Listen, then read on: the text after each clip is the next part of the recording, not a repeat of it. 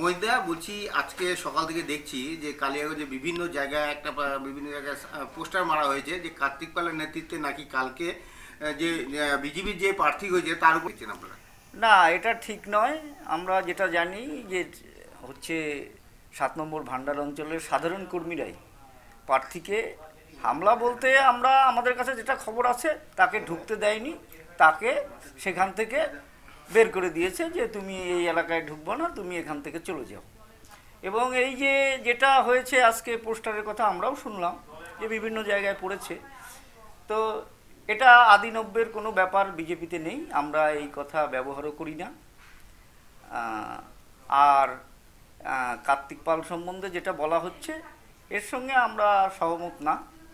এটা আমাদের বিরোধী যারা যারা আমাদের অপোনেন্ট, তাদেরই কাজ। তারাই কিছু রাজনৈতিক ফায়দা নেওয়ার জন্য এই কাজ করেছে। বলে বিরোধী বলতে মনে তো। কালিয়াগঞ্জে কংগ্রেস এবং টিএমসি রয়েছে। কাকে ইঙ্গিত করছেন? না আমরা আমাদের মনে হয় এটা টিএমসির কাজ। আচ্ছা। এই তারাই এই ধরনের রাজনৈতিক সুযোগ নেওয়ার জন্য এটা করেছে। এই ধরনের পোস্টার মেরে তারা কি ধরনের লাভ পেতে পারে?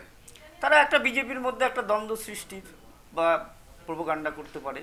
যে মানে আদি নব্যের গণ্ডগোল আছে নতুন পুরাণের গণ্ডগোল এই একটা তত্ত্ব খাড়া করতে পারে। কর্মীদের মনোবল ভেঙে দেওয়ার চেষ্টা করতে পারে কিন্তু সেটা সফল হবে না। বিজেপির মধ্যে ওরকম আদি নব্যের কোনো গণ্ডগোল নেই।